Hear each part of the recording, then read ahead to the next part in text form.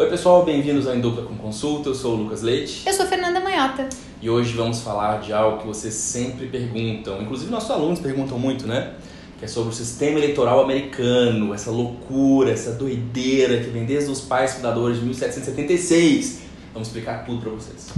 É isso aí, aproveita que você já tá por aí, se inscreva no nosso canal, ative as notificações e não deixa de seguir a gente nas redes sociais. Vão aparecer aqui para você as minhas, as do Lucas, as do canal e, claro, ative o glorioso sininho. Bom, toda vez que acontecem eleições nos Estados Unidos, né, a cada quatro anos, eleições nacionais para presidente, toda essa polêmica volta à tona. As pessoas começam a acompanhar a corrida eleitoral e ficam desesperadas, sem entender nada.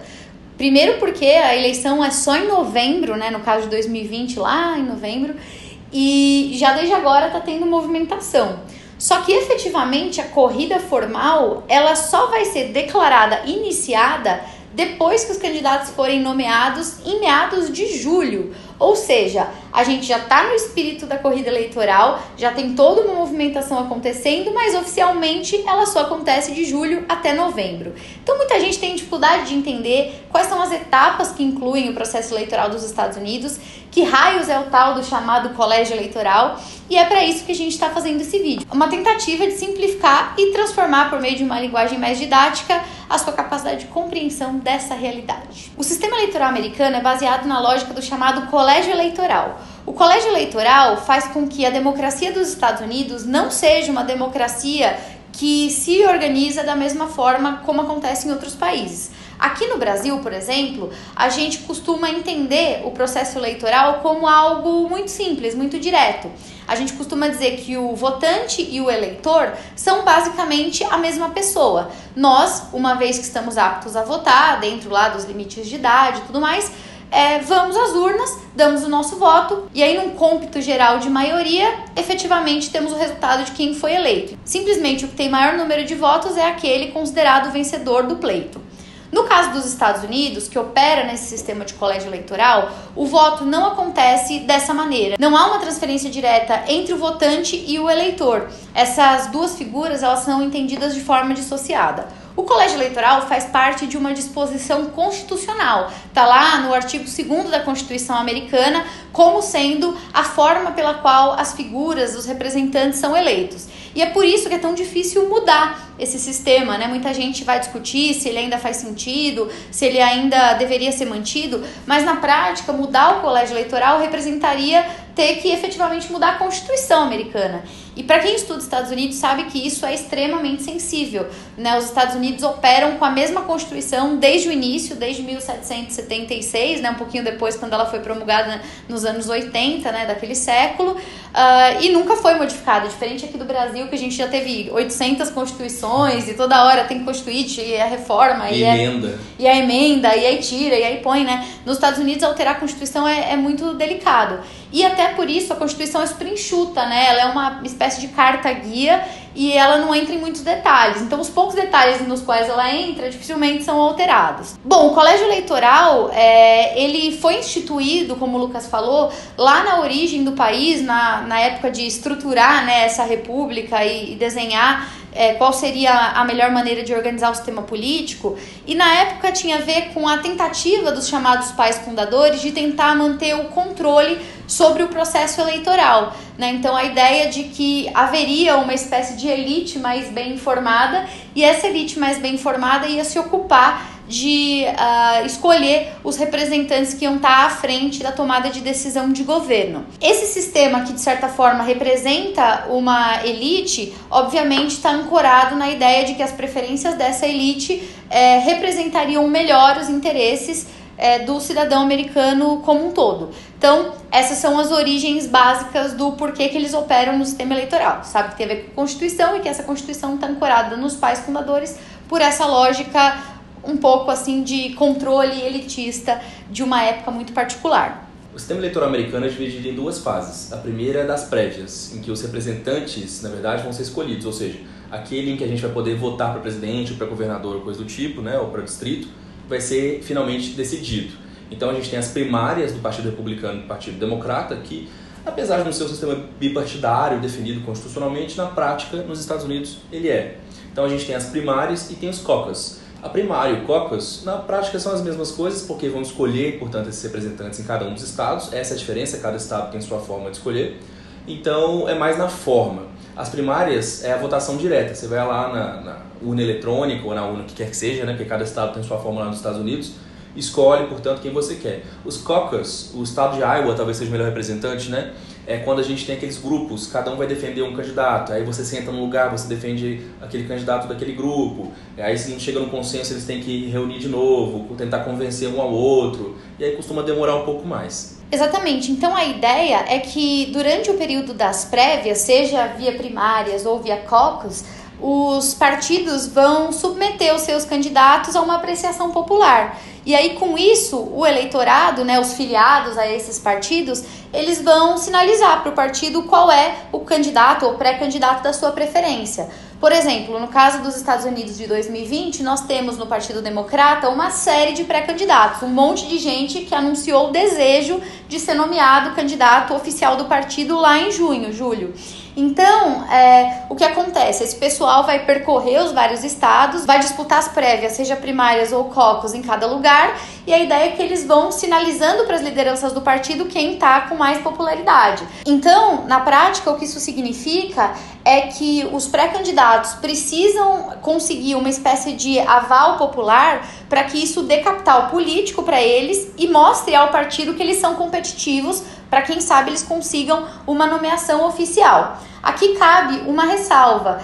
Não necessariamente aquilo que for apontado nas urnas durante as prévias precisa ser necessariamente confirmado pelo partido. Pode acontecer de, nas urnas, ao longo do processo, um candidato receber muitos votos e na hora H da nomeação o partido escolher outra pessoa. Não é o mais comum, porque a tendência é que o partido justamente é, avalize o que as próprias pessoas gostariam que fosse, né? Mas não existe uma, um dispositivo legal que obrigue o partido a seguir, a aceitar ou a validar o que foi obtido nas prévias. Bom, então no fundo é isso que acontece. A eleição começa com um bando de gente se pré-candidatando de um lado, no caso os democratas, um bando de gente se pré-candidatando do outro lado, do lado dos republicanos, e eles disputando em cada estado essas eleições preliminares. É importante lembrar que nem todo mundo vota em tudo, só vota quem é filiado àquele determinado partido. Então, quem é democrata vai votar no pré-candidato democrata, quem é republicano no pré-candidato republicano. A segunda etapa é da eleição geral, em que a gente vai ter as pessoas que se registraram para votar votando em cada um dos estados.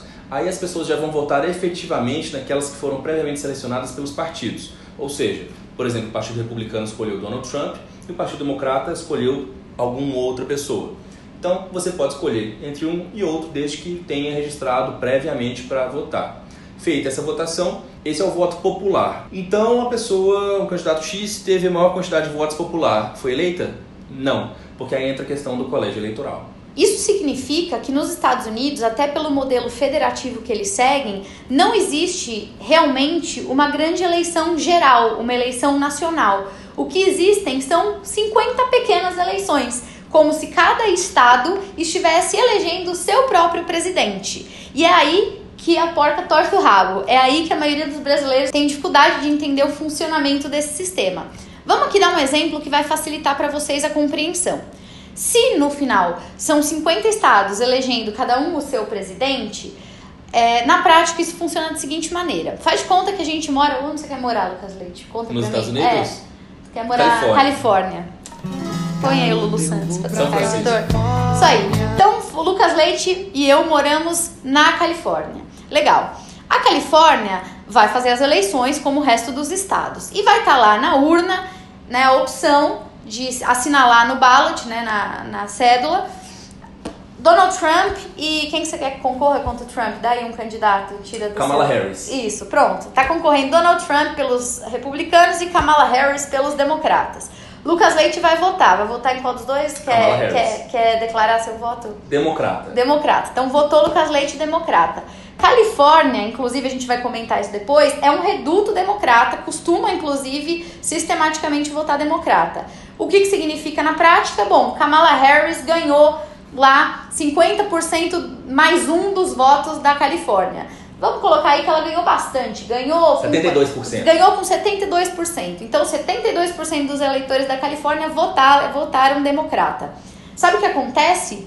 a Kamala Harris vai receber todos os votos, ou seja, vai receber todos os assentos, entre aspas, do que seriam as cadeiras do colégio eleitoral pertinentes à Califórnia. E aí nessa hora a gente precisa fazer uma pausa para explicar essa história. Nós temos alguns sistemas eleitorais no mundo. Um deles é o que a gente pode aglutinar como majoritário pluralista.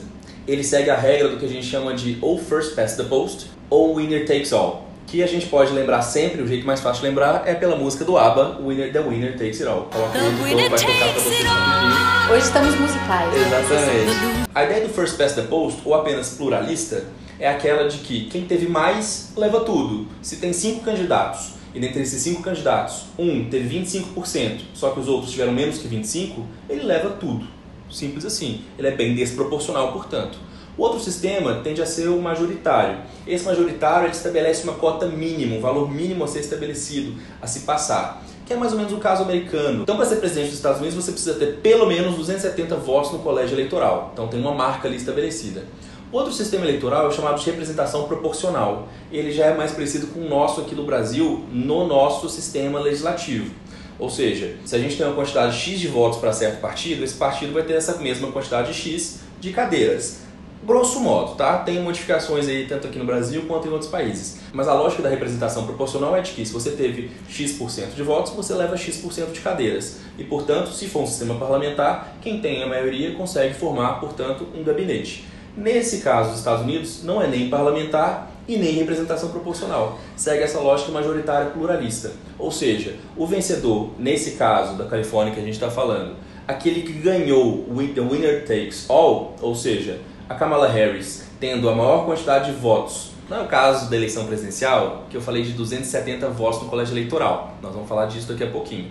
Mas nessa eleição específica dos distritos dos estados, a gente vai escolher quem aquele estado quer que leve os votos do estado. Ou seja, se a Kamala Harris teve 72%, não é que ela vai ter 72% dos delegados da Califórnia. Ela vai ter todos. The winner takes ou, ou seja, se ela ganhou a eleição naquele estado, ela leva todos os delegados do colégio eleitoral. E aí você vai se perguntar, mas leva todos quem? Leva todos quanto? Quem é o colégio eleitoral? Bom, na prática, o colégio eleitoral é, representa uma soma que leva em conta a proporção de representantes que cada estado possui de acordo com a sua densidade populacional. Então, é, se vocês olharem para o número de representantes tanto na Câmara quanto no Senado, vocês verão que coincide com o número total que a gente costuma dizer que é o colégio eleitoral americano.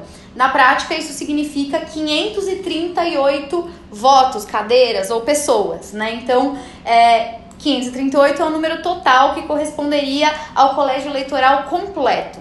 Agora, como a gente está falando de densidade populacional, esses 538 votos que compõem uh, o todo são distribuídos entre os 50 estados de acordo com o peso que cada estado possui. E o número então de cadeiras que esses estados têm é diretamente ligado à sua densidade de ocupação. O que significa que de tempos em tempos, conforme o censo é realizado, é, há uma alteração, porque tem estados que se tornam mais populosos, outros estados que se tornam menos populosos, e aí as cadeiras podem subir um pouquinho ou descer um pouquinho. É, isso faz com que algumas regiões elas sejam extremamente poderosas, porque elas são bastante densas popula populacionalmente. Como é o caso da própria Califórnia, que dentre as 538 tem mais ou menos aí 55 cadeiras, sozinha, um estado, né, bastante. Ou a gente poderia falar da Flórida, que sozinha tem mais ou menos 27. Ou nós poderíamos falar do Texas, que sozinho tem 34.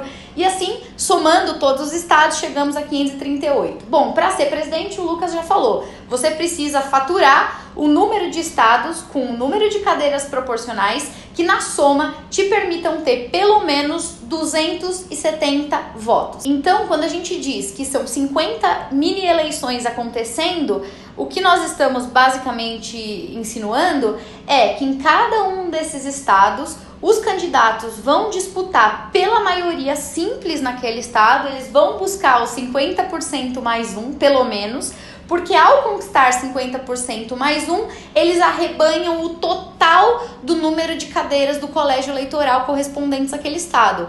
se a Kamala Harris faturar 72% na Califórnia, dá no mesmo do que ela faturar 50% mais um, ou 98% dos votos. O que ela precisa é ter a maioria simples, porque de qualquer jeito, com 50, com 51, 72 ou 98, ela vai ter as 55 cadeiras da Califórnia. E aí a conta começa a ser assim: Califórnia 55 mais, Texas 34 mais, até dar 270. Isso explica porque a eleição nos Estados Unidos ela é tão focada em algumas regiões. Por quê? Porque uh, imaginem vocês os custos de fazer campanha num estado de dimensão continental como os Estados Unidos, né, um país enorme, e atender a todos os 50 estados da mesma maneira, né? Quanto isso representaria em termos de custo, né? De tempo, de dinheiro e tal.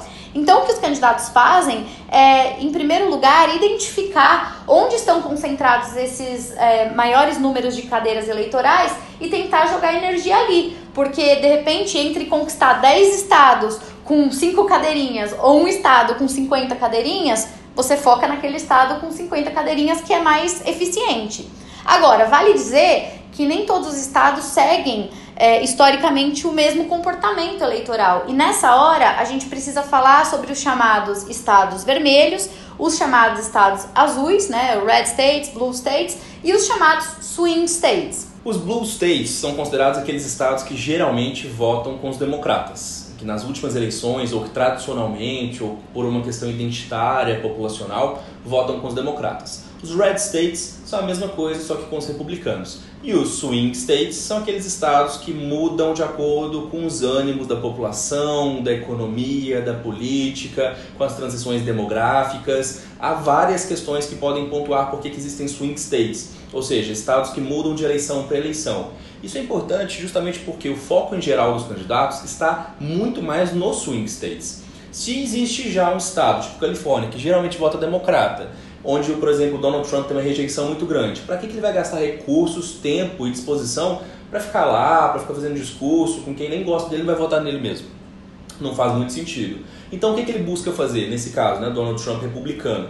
Ele vai garantir primeiro os estados, os red states. Ele vai lá para fazer um pro forma, ó, tô aqui, gosto de vocês, continuem votando em mim e vai focar todas as suas atenções, ou principalmente boa parte delas, seus recursos principais, nos swing states, aqueles estados que têm uma propensão a mudar de lado ou em que é muito indeciso, muito difícil prever efetivamente quem vai ser eleito. Só para dar alguns exemplos, né? Vocês podem imaginar como, por exemplo, blue states. A gente falou da Califórnia, tradicionalmente um blue state. A gente poderia falar de Massachusetts também, né, na costa leste, um blue state. No caso dos red states, a gente tem estados ali do meio oeste americano, alguns como, por exemplo, Montana, né, um, um red state bem consolidado, enfim. E nos swing states a gente tem os tradicionais, sempre debatidos na época das eleições. É o caso de Ohio, é o caso da Flórida, é o caso da Pensilvânia o caso do Michigan, enfim, são algumas aí é, opções para você visualizar o que a gente está falando. E ainda tem uma novidade que agora as pessoas estão comentando a respeito, que é o chamado Purple State.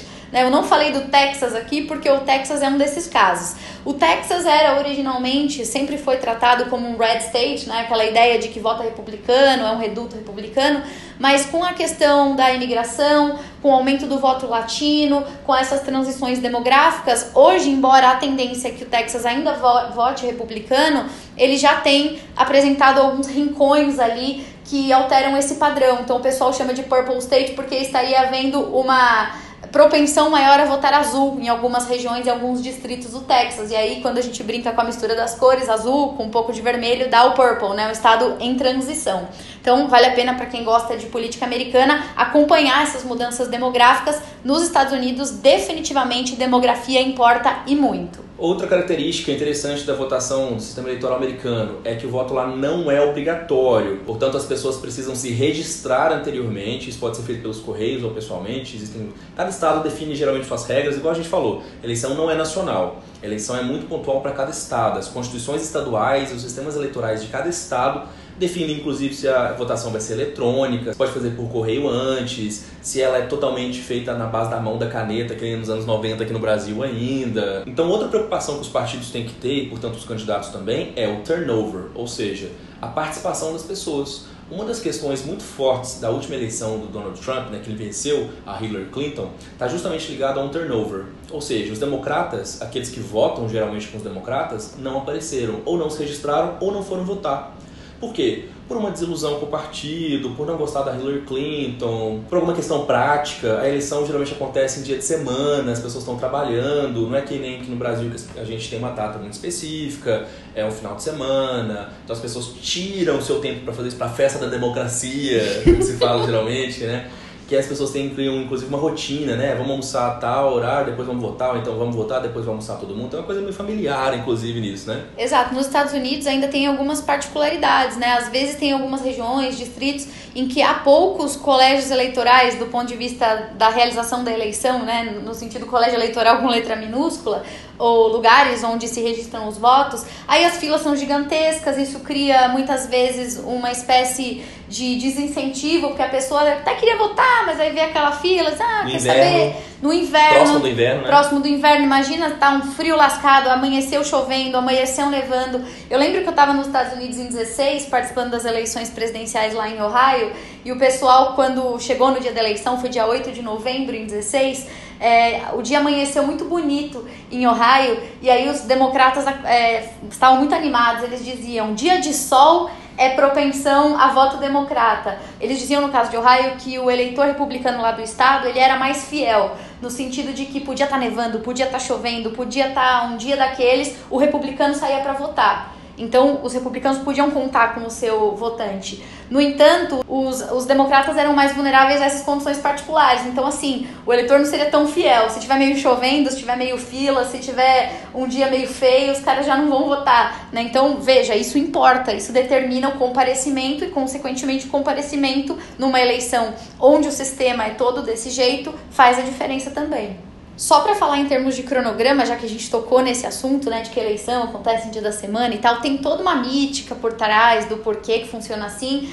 Tem muito a ver com as tradições e como originalmente o sistema foi pensado. Então, os Estados Unidos, muito ligados a essa ideia de uma constituição única, dos pais fundadores e da sua própria história, ainda hoje é, reproduzem esse mesmo modelo. Então, o voto popular, né, esse dia em que o Lucas e a Fernanda na Califórnia vão sair para votar, acontece sempre na terça-feira, após a primeira segunda-feira de novembro. Então, todo ano você olha lá qual é a terça-feira depois da primeira segunda-feira de novembro e é nesse dia que vai cair a eleição. Aí você diz, muito bem, fomos todos à urna em cada um dos nossos 50 estados, votamos lá no nosso candidato selecionado, sabemos quem teve a maioria simples dos votos, portanto, quem vai levar os é, votos da, do colégio eleitoral, mas como efetivamente isso se transforma numa eleição.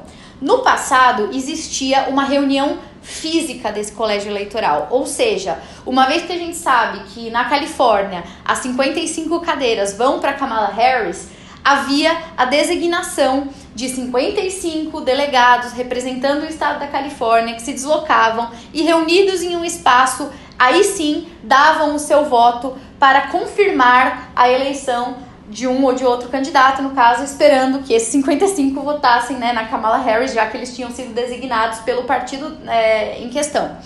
Hoje em dia, essa reunião formal, né, dessa maneira, ela não acontece mais. Isso não envolve mais uma reunião física, mas existe sim a votação por meio do colégio eleitoral. E acontece ainda mais ou menos dentro desse modelo que eu expliquei. Então, numa determinada data, estabelecida também em termos dessa tradição, que é a primeira segunda-feira após a segunda quarta-feira de dezembro. Então vamos lá, mais uma vez para você que não pegou. A primeira segunda-feira, após a segunda quarta-feira de dezembro, o colégio eleitoral efetivamente vai votar. Quando a eleição está rolando, cada partido faz uma lista de acordo com uma ordem de preferência de 538 nomes que seriam seus representantes no colégio eleitoral. Né? Então, de 1 a 538.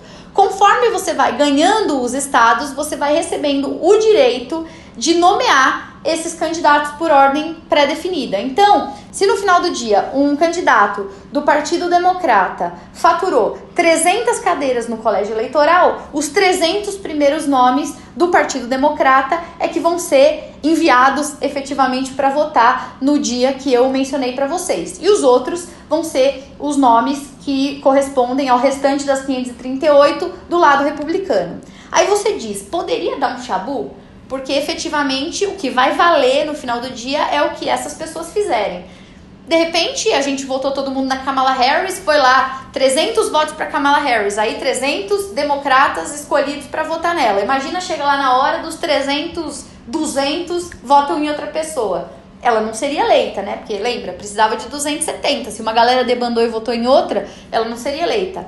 Isso pode acontecer? Pode mas não é usual. O usual é que existe uma fidelidade partidária. Quando esses nomes são escolhidos, eles são nomes de confiança, eles são designados para confirmar os votos da urna e na prática, quando existe alguma divergência, ela é muito residual. É um ou outro que ao longo da história votou diferente do que o Estado e os eleitores, né, os votantes daquele Estado tinham sugerido. Então, é assim que acontece. A gente, quando tem o resultado das urnas e já faz o cálculo do colégio eleitoral, consegue ter ali uma espécie de prévia muito confiável do que um mês depois, né, um pouco mais de um mês depois, o colégio eleitoral vai confirmar. E essa confirmação final acontece numa sessão conjunta do Congresso em janeiro que valida os votos do colégio eleitoral. Então o processo começa lá nas prévias com as primárias dos cocos passa pela nomeação, depois pela eleição direta de cada um dos estados, depois pela seleção do colégio eleitoral e a confirmação no final pelo Congresso. Toda regra tem exceção, e nesse caso as duas exceções são dos estados de Maine e Nebraska. Nesses estados não vigora aquele sistema do winner takes it all, ou seja, aquele que passar os 50% mais um leva tudo. Não, nesses estados em geral existe uma proporcionalidade. Ou seja, cada candidato que teve X% dos votos leva esse X% de delegados. Bom, e aí com isso, a gente espera que você possa ter entendido um pouquinho mais a respeito do sistema eleitoral americano. Lembrando que tem muitos pormenores, a gente poderia entrar em vários detalhes, a gente poderia discutir se o sistema é confiável, se o sistema é justo, a gente poderia discutir por que, que o sistema não muda, por que, que o sistema não passa a ser simplesmente majoritário no formato como acontece aqui no Brasil, né? Por uma eleição de maioria simples em turnos, por exemplo. A gente poderia, inclusive, entrar em alguns detalhes, como a própria divisão demográfica, a questão dos distritos, tem um conceito muito importante nos Estados Unidos que é o chamado, que é o sistema de gerrymandering, por exemplo. Enfim, dá muita, tem muito pano para manga nesse assunto. Mas esse é um vídeo introdutório para você que está começando a acompanhar aí as prévias, né? Nós tivemos recentemente em Iowa a inauguração desse movimento e que não está entendendo nada. Então, o nosso objetivo aqui é esclarecer um pouquinho mais Vamos deixar aqui para você, uh, agora ao final do vídeo, uma composição com um mapinha, assim você pode ver hoje como estão distribuídas as cadeiras do colégio eleitoral, essas que totalizam as 538, e aí você já vai sabendo em que estados vale a pena focar a sua atenção conforme a corrida avança. A gente vai voltar para falar muito de eleições aqui ao longo desse ano, né? Nós somos do ramo e esperamos que vocês interajam bastante com a gente. Então, se quer saber alguma coisa específica de eleições, hashtag EDCC Responde. Então é isso, pessoal. Muito obrigado pela sua atenção. Não se esquece de se inscrever no canal, ativar as notificações, deixar o seu like, seu comentário e seguir a gente nas redes sociais que vão aparecer novamente aí para vocês. Tá certo? A gente se vê em breve. Até mais. Tchau, galera. Não no caso do presidente que eu falei dos não é o caso do presidente que eu falei dos 270 não é o caso do presidente que eu falei de 70 votos no colégio eleitoral. Não é o caso do presidente que eu falei de Não é o caso do presidente que eu falei de Ah! Não é o caso do presidente que eu falei de Dos 200. Não é o caso do presidente que eu falei dos 270.